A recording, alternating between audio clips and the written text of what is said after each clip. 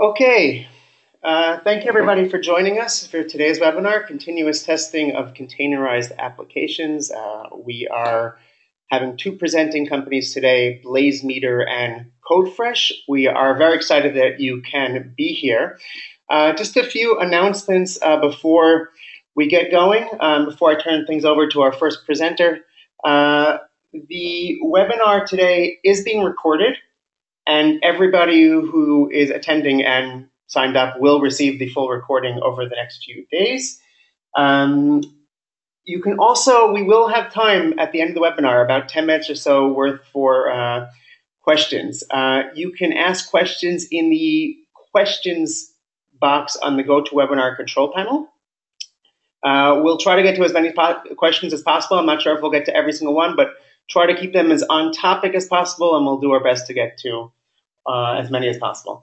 Uh, finally, at today's uh, the end of the webinar today, or when you leave, you'll be prompted just to fill out a short 30-second survey um, about today's webinar. It really helps to get your feedback, helps us to get your feedback, and how we can make these webinars even better.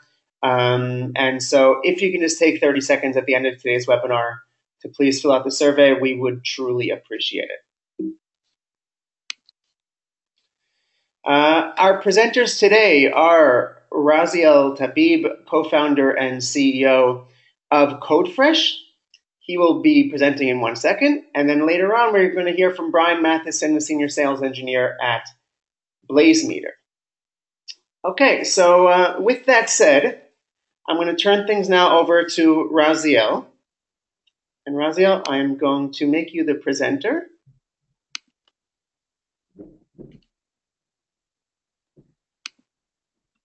Thank you, Jason. Um, and hi, everyone.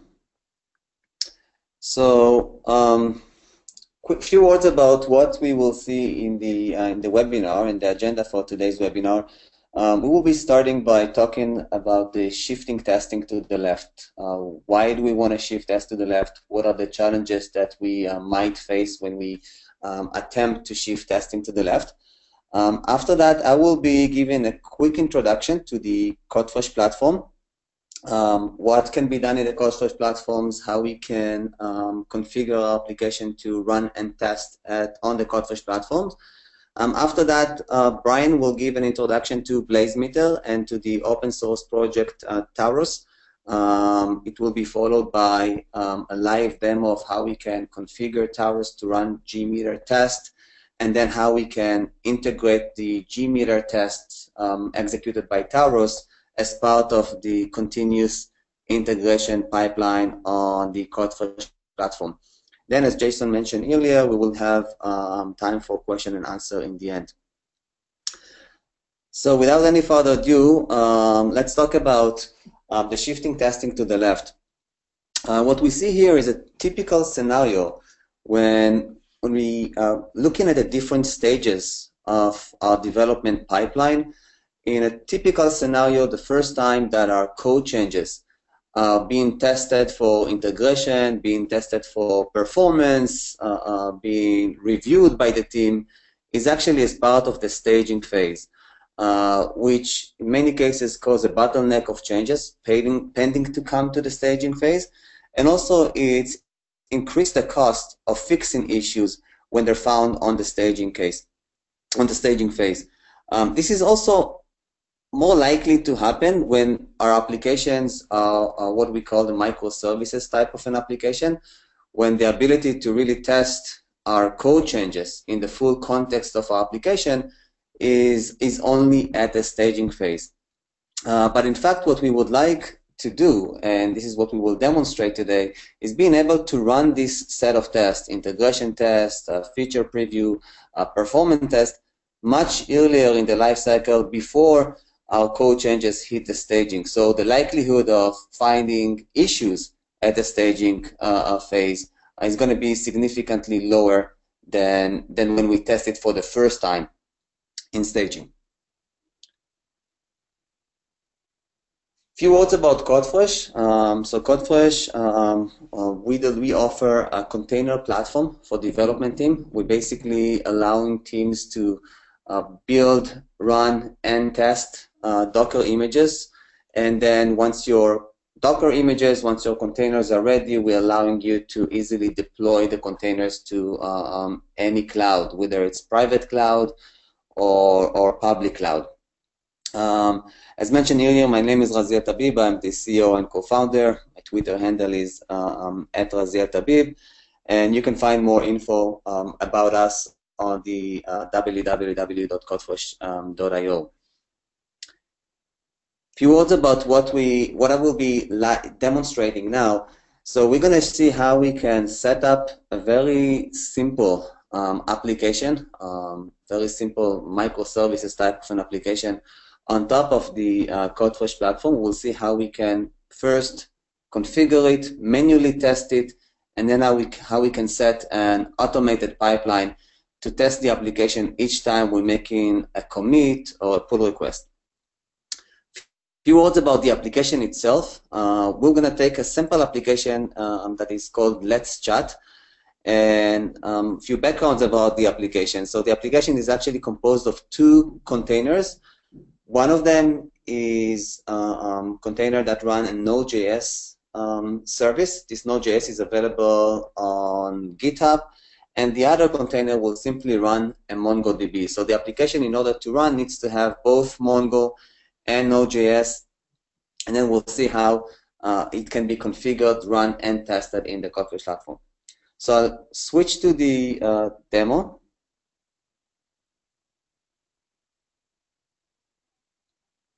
So here I'm at the login screen to CodeFresh, uh, um, in which we can log in with um, GitHub, Bitbucket, or on-premise Git.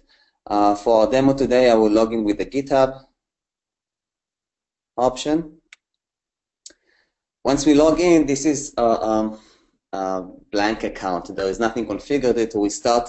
We'll start by adding the services of our application. And as we mentioned, we have a Node.js service. So we click on the Add Service button. We will choose the Git repository. After choosing the Git repository, we'll specify if our um, repository already has a Docker file. Docker file is a file that describes how to package our code inside a container. Um, if we don't have a Docker file, we can take the basic templates and edit them. Um, the best practice is to have a Docker file as part of your Git repo.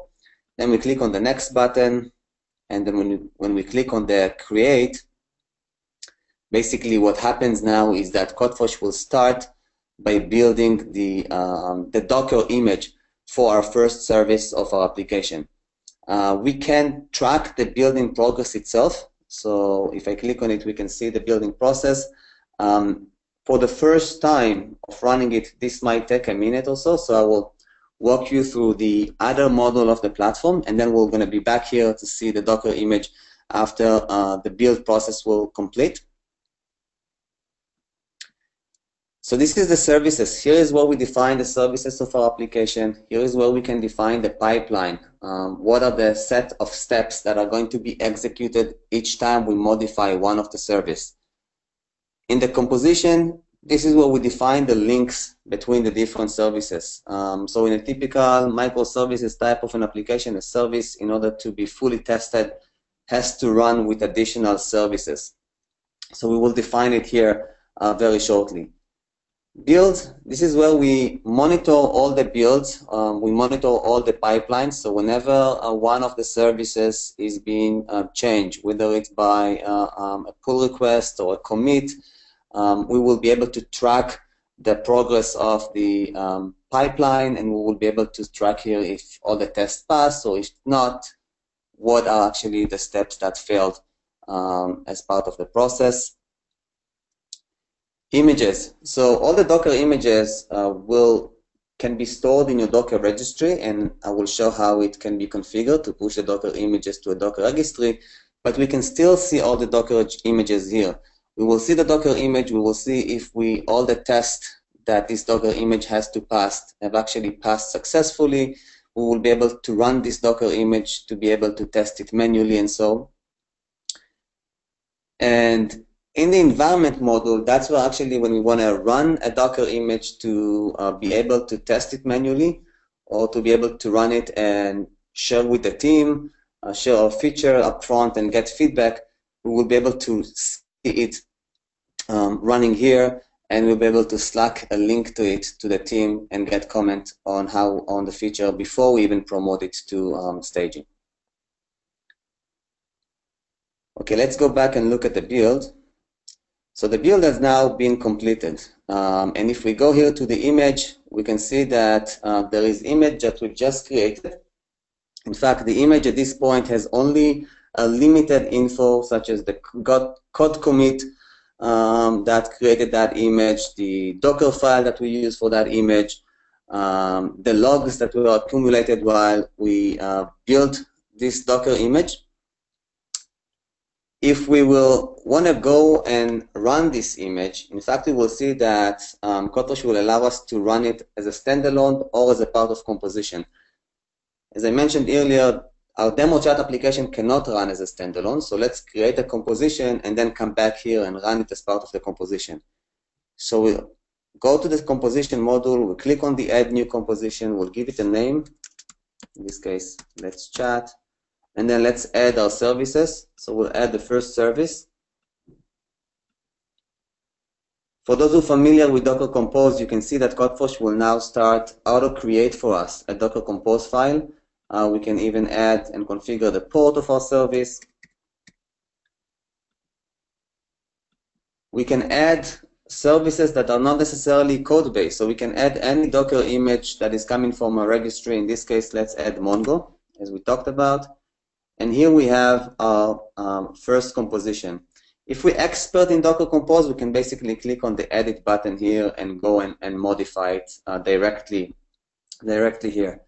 Uh, now once we save this composition, if I'm going to go back to the image and I want to run my code and see how my code behave, I can click on the launch button and then click on the uh, run it as part of a composition. Let's chat in this case.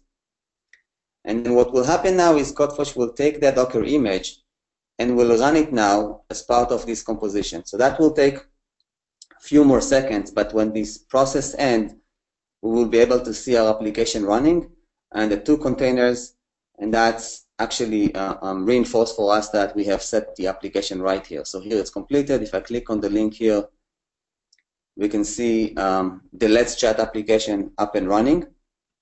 I can go to the environment. We can see that we've just spin up this environment. There are two containers running in this environment. This is the um, standard output within each one of these containers. So we know everything, everything works properly. So after the very first setup of our application, let's see how we can configure um, the pipeline and the set of, of uh, um, steps and tests that will run each time we're making a change to our services. So let's go back to service. And when I click on a service, I can see the pipelines. I can set uh, multiple pipelines for each one of the service. If we're looking at the default steps that a pipeline uh, um, has, we can see the build and unit test. We can see integration test and deploy.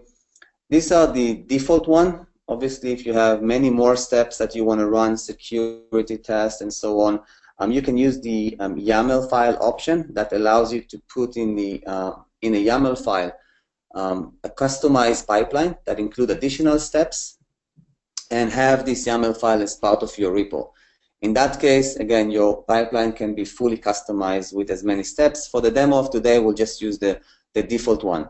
So if I come to the build and unit test, I can basically come and say add gulp test and if I save the pipeline now and run it again, we can see that right after building the Docker image, CodeFresh will start running the, um, the unit test. So here the unit test all passed. We can see that there is another build at the build modules. And if we're looking at the image, we can see that the image also marked now as also the test pass. So we're adding more and more metadata to the Docker image so we can show that you know the Docker image passed all of these steps before we're promoting into production. Uh, before I will hand it um, over to Brian, I will show that one of the key capabilities and link it back to the uh, um, shifting test to the left. One of the key capabilities that, uh, that we have as part of configuring the pipeline is that now when we know how to run the full application, how we know, we know how to run the Docker image together with the uh, um, other services that needs to run with it for each one of the steps, whether it's unit tests or integration tests and so on, we can specify to CodeFresh, run this test, but run this test while you run our Docker image inside a composition. So we can basically go back, let me show you here, go back and tell CodeFresh when you run the test already here, run our code changes in the full application context and then run the test against it. So already at this stage, we can identify if we break the integration test, we can identify if there is a degradation in performance and so on uh, before we've actually promoted our code changes to the staging environment. With that saying, uh, um, I will um, hand it over to you, Brian, to show talk about Taurus, BlazeMeter, and how we can integrate it with the CodeFresh platform. Great. Thanks, Raziel. I'm just going to switch over to me and share my screen out here.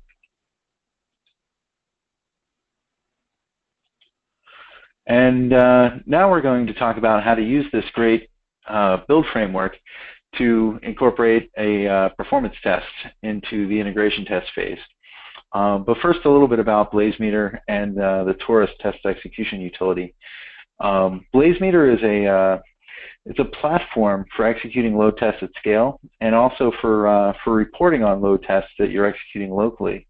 Um, we can use load generators uh, in the cloud, whether it's a, uh, public cloud load generator, or whether it's a, a, uh, a, load generator in your VPC or in your your internal cloud. Um, and we provide very intuitive reporting on the uh, the result set that comes back from the from the load test. Um, BlazeMeter has a sort of an open source DNA and allows you to run uh, tests that are developed in a wide variety of, of different open source applications. So uh, really any test material that you uh, that, that you might want to run as an integration or a load test um, uh, can be executed using the Taurus uh, test execution utility. So what's Taurus? Taurus is a uh, it's a command line utility as well as a YAML um, specification, domain-specific language actually for for defining load tests and performance tests. You can use it to uh, to execute existing load tests that you've developed, um, or you can define your own load tests based in this YAML uh, domain-specific language, which is what we're going to focus on. Um, and you can also run multiple tests in parallel with it, so it's suitable for, for combining tests that have uh, different strengths. So in order to develop our test uh, that we uh, that we wrote against the Let's Chat uh, composition, uh, we use the uh, the BlazeMeter extension to Chrome, which allows us to record all the requests that we send up from the web browser. Now this is a very easy way to get started on, on developing a test script. Um, and it's very easy to export this in, uh, in a variety of formats, including in JMeter. Um, I chose to export it in JMeter because uh, JMeter has a great deal of functionality for test development uh, when you're working with it in real time. And I wanted to capture uh, certain elements of the application that, uh, that, that are easiest to do when you can inspect the response data. So in order to use this recorder, um, you just go add the extension to Chrome, open it up and click the record button to start the capture. Capture all the requests from the browser and navigate through the app to, uh, to, to build out the test plan really. And then, uh, and then you just uh, stop the recorder and, uh, and export it to uh, a JMX format for opening up in uh, JMeter. Now, JMeter here pictured on the right um, is uh, is a great tool for for developing load tests. Um, and and what I was what I was able to do by opening it up in JMeter and uh, and and you know just running the test a few times was find some places where the script needed some parameterization. And so so I used JMeter to parameterize the script and to uh, to to include uh, uh, a CSV file that allowed me to specify what uh, what what those variables contain, um, such that each thread would contain a unique set of user login information. Uh, the workflow that I that I developed the test around was simply creating an account, logging into the application, and uh, and then logging back out again. Um, so so very very simple performance test, um, but uh, illustrative of uh, of of a, a, sort of a common test workflow. Now, because of the CSV file, um, uh, I'm able to specify a fairly large number of accounts, and uh, and and I can I can have unique account information for each line in the CSV file that gets applied to each thread or each iteration of a thread uh, such that I don't create duplicate accounts within the chat client. Um, I'm also using post processors to capture session tokens, which, uh, because of the way the application is designed, are are uh, uh required in in, uh, in, in input data that's subsequent to the to the initial uh, account creation and login. Um, and then I was able to use JMeter to test the script against an instance of the app running in CodeFresh's uh, uh, container cloud. So then what I did is I converted this into Taurus YAML. And I did that because Taurus YAML provides for an easy way to extend and, uh, and, and maintain the script without having to open it up in JMeter. Um, with Taurus YAML, it's very easy to uh, to understand the, the way the scenario breaks down, and it's very easy for other developers within the uh, within the organization to modify the test script at the same time as they're modifying the application. So what I've done is I've used the JMX to YAML utility to convert the JMeter file into an initial YAML um, uh, an initial YAML test specification. And then I've trimmed out some of the extraneous uh, uh, information. Uh, for example, the uh, recorder will capture all the uh, all the request headers, and I've trimmed those out for for readability because our application doesn't happen to, to, to care about those headers. Um, so the resulting file uh, is uh, is very straightforward. Uh, you can see that there's an execution section. Oops, I've lost my slides here. Uh, there's an execution section which defines the concurrency with which the test runs and the number of iterations the test runs over. Now this is a short number of iterations for a couple of reasons. Um, uh, one practical reason in that um, I have to specify each account in a CSV file, and so I only have 200 pre-built accounts um, uh, or pre-allocated accounts that I'm going to populate the database with um, uh, as part of the test run and then um, uh, so so I can run 20 concurrent users at 10 iterations each and fill out all 200 of those uh, entries. Um, and uh, and after the execution section, we're defining the scenarios, which are really how we're interacting with the application. Um, we're defining a default address, and this default address is chosen to be the same as the uh, the name in the composition file, uh, such that the, uh, the the Taurus container is able to reach the application, uh, you know, just just using static host mappings that way. Um, uh, you can see that I've defined the data sources and included my uh, my CSV file in the in the repository for the container. And I've defined the request, um, uh, including a post to uh, uh, to to the server to create an initial account. Um, that's the registration uh, operation. Um, I, have included a, uh, a login operation which sends up the same password that it uh, created the account with, um, and and and also um, include some other requests that are that are important to capture as part of the uh, um, uh, you know execution flow in order to exercise the app accurately. And then I've I've uh, I've captured a request to the actual application itself now that we've logged in, and uh, and and in this in this request we're getting back a uh, session token where I'm using a regular expression extractor to extract that token and uh, and and then replay it in a subsequent re in subsequent requests. So you can see here this, uh, this regular expression is going to capture this particular value, um, uh, and and it's going to um, uh, store it in a variable called SID. And then we can we can in in the the subsequent transactions reference this SID variable um, to uh, to identify our, ourselves to the application. Sorry about that. So um, uh, at the end, we we go ahead and log out, and uh, and you know um, uh, there's uh, some other sort of housekeeping uh, configuration elements there as well. Um, so with that, um, we have our performance test script ready to go. So what do we do with it? Well, we put it in a container, and we run that container along with the uh, uh, the build of the Let's Chat uh, application.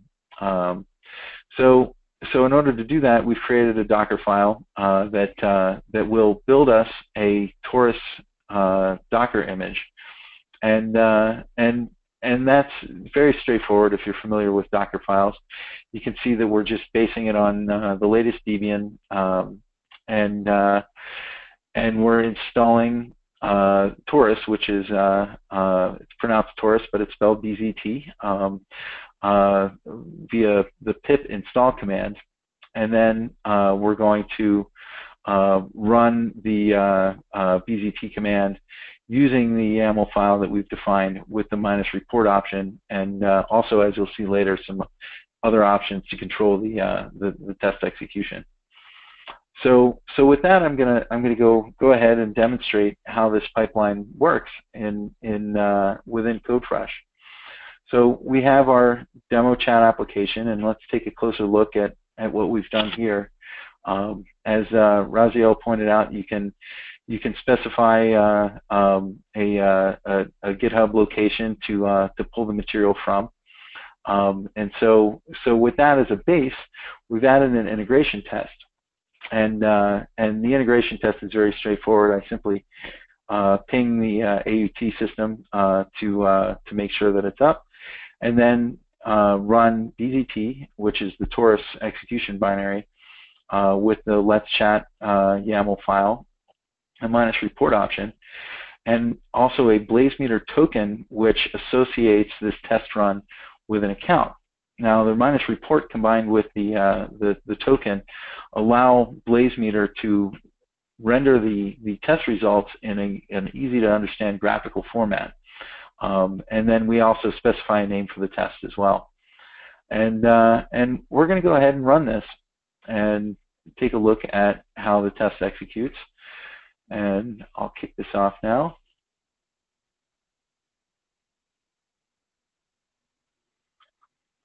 and we can see the familiar uh, uh, workflow of, uh, of, of, building and running the containers. And then we're going to run the integration test by uh, uh, uh, creating the, the Taurus container. And um, we should start getting results here momentarily.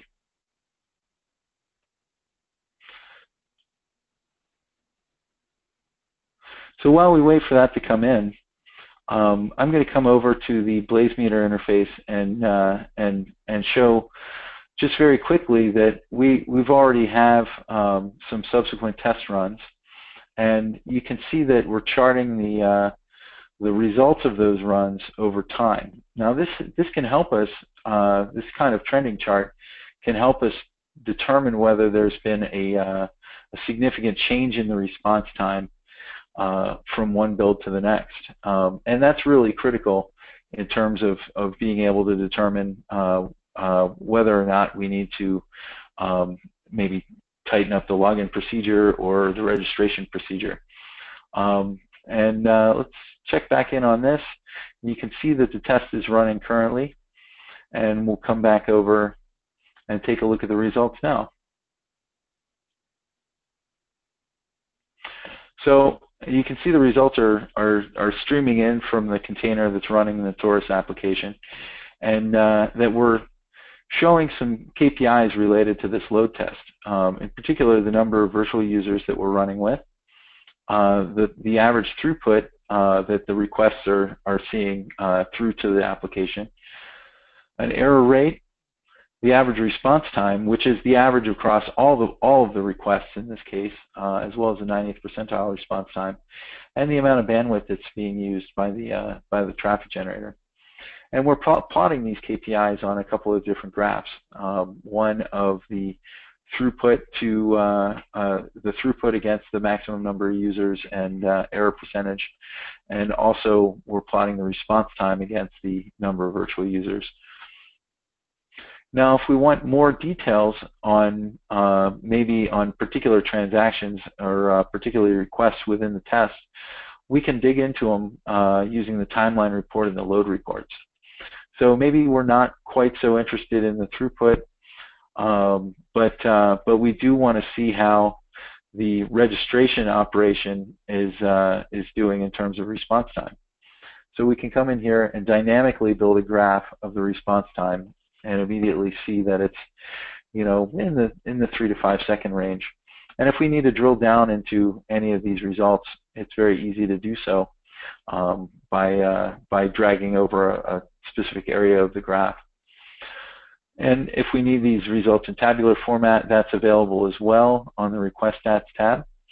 And, uh, and if we need to share these results out with another software developer, it's very easy to get a shareable link that we can uh, uh, paste into Slack and and uh, and and our teammates can analyze the test results right along with us.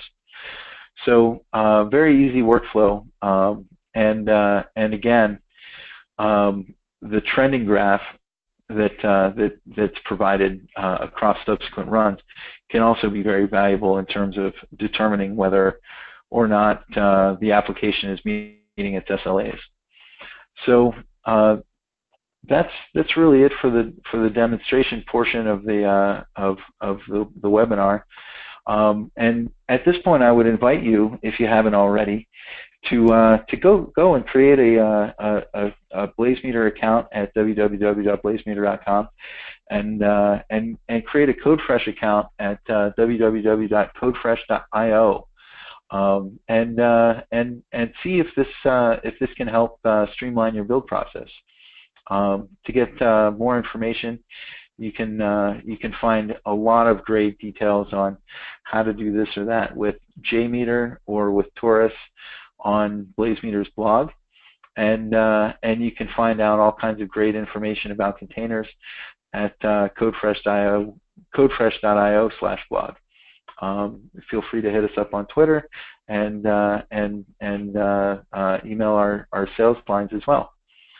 So at this point, I'm going to hand it back to Jason to uh, open up the floor for questions.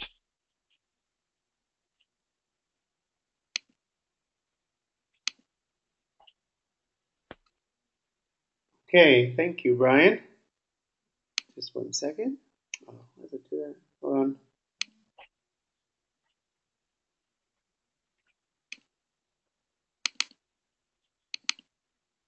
Okay, I'm not sure why it's doing that. But um, does anybody have any uh, questions? I see a few here, and I'll just announce them uh, for um, for uh, uh the people who can't see them, obviously. But um, the first question was, uh, I believe it was actually for Raziel, but I might be wrong. It actually might be for Brian. It was, where did you configure the Node.js container to use the MongoDB container? Okay, so that's uh, um, that's a question for me. Um, the uh, Node.js repo um, of the demo chat application is actually um, calling out Mongo. It needs a Mongo component in order to run together. The links between the Node.js and the Mongo containers are being defined in the composition in the Docker Compose um, YAML format. That's where you list all the containers part of your composition. You can list the links and when we run the composition, um, whether it's as part of running it for manual tests or whether it is part of running it for a performance or integration test, we're running it in a way that uh, all of these containers are sharing the very same network and can access each other.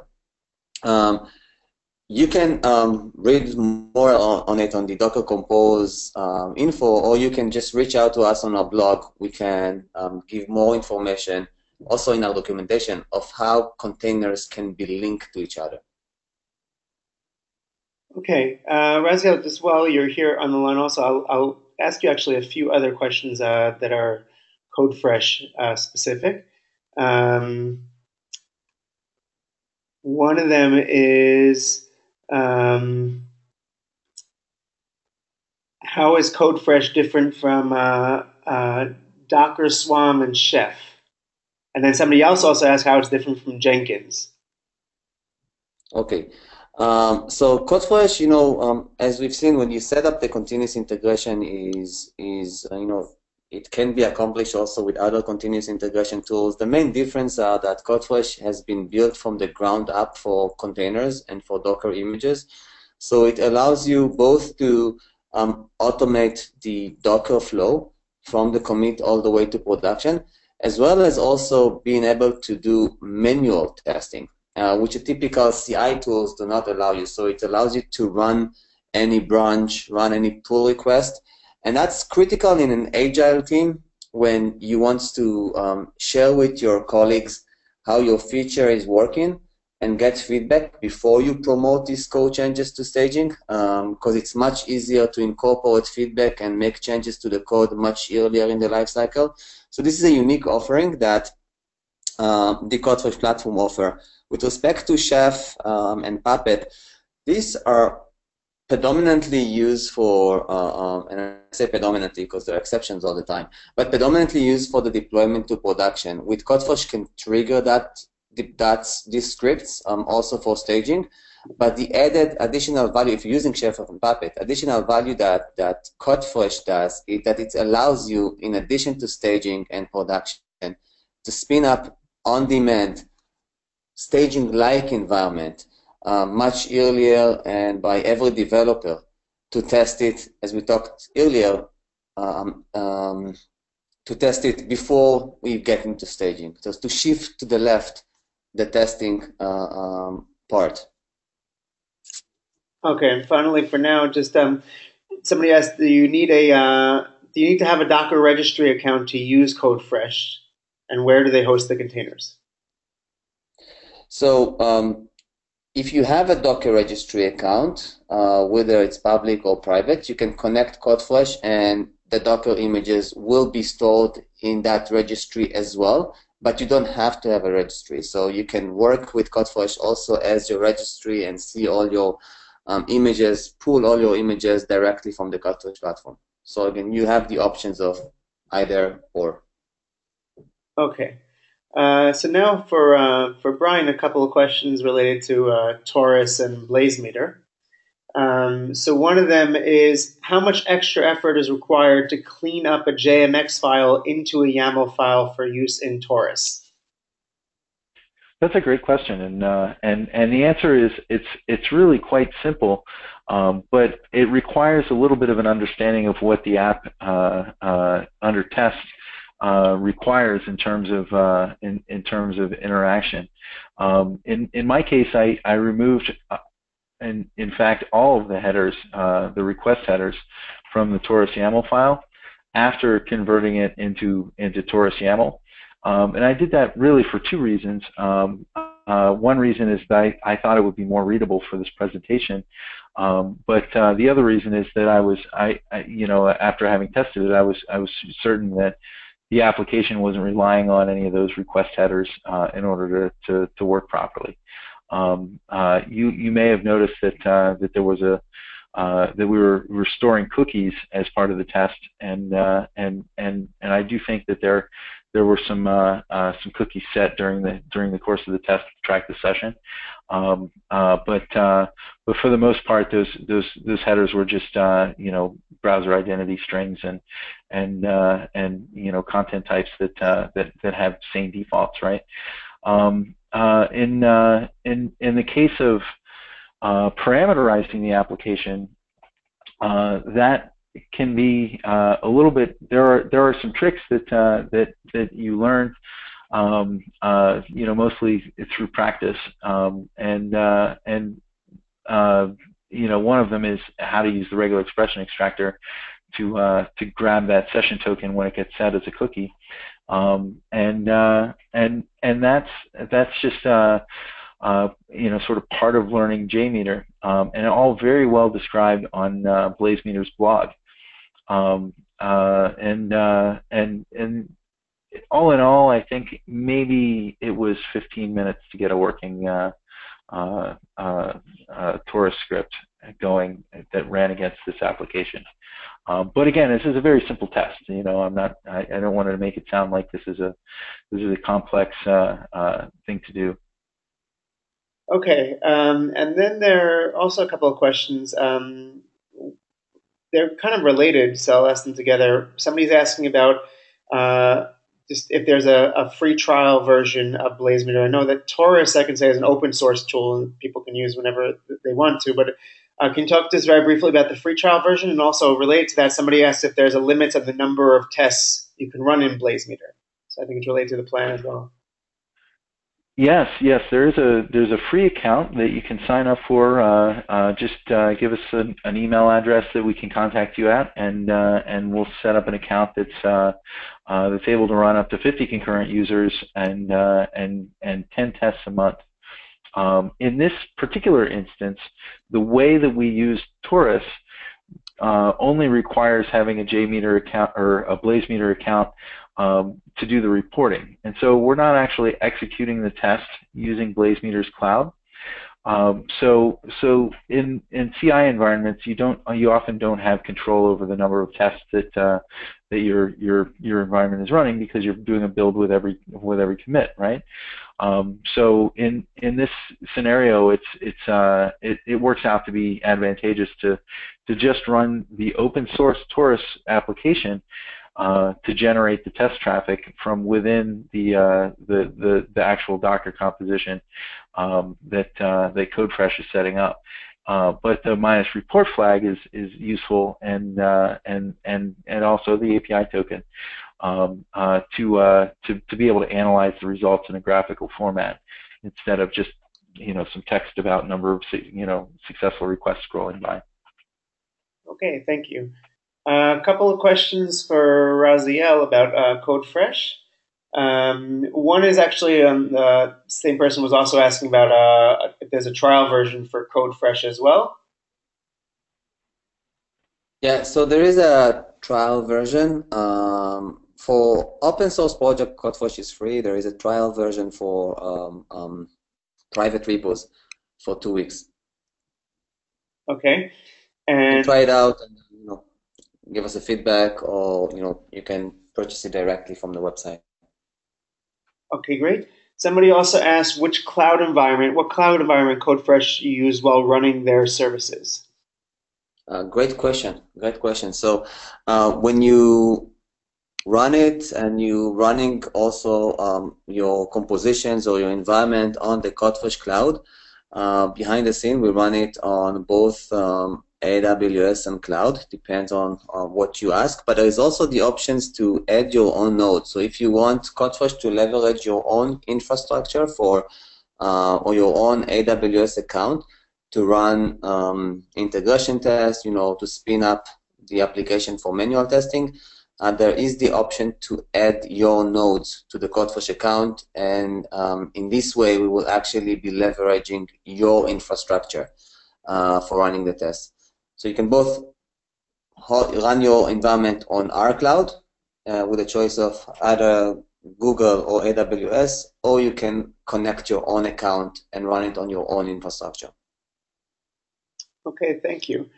One last question for now. Uh, I think that we can take Brian. This is for you. Uh, it's about Taurus. Um, if there's somebody's asking, is there a way to change the Postman collection to the Taurus YAML file?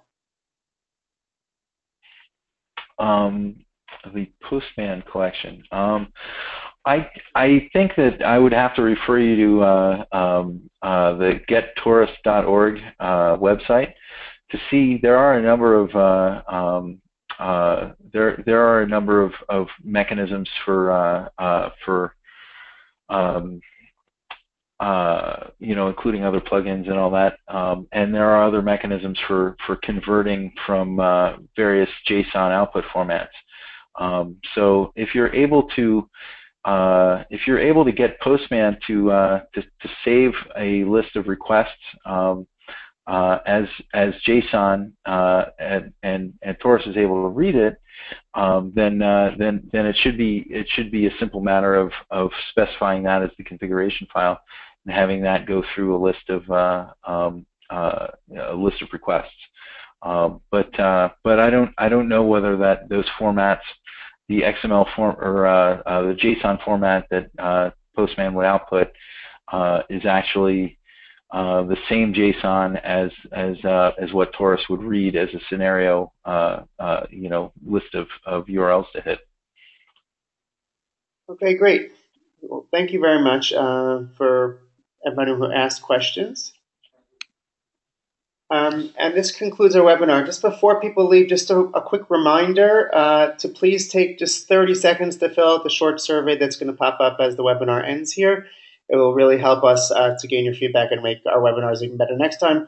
Also, if you asked any uh, more additional questions about getting a demo either BlazeMeter or CodeFresh or specific questions about pricing plans, um, we have your email, but uh, feel free to give that in the survey as well. Um, and we'll get back to you uh, from each side uh, as soon as possible. Uh, finally, thank you again to our presenters today, Raziel Tabib from CodeFresh and Brian Matheson from BlazeMeter. My name is Jason Silberman, uh, and thank you, and have a great rest of your day. Bye, everyone. Thank you.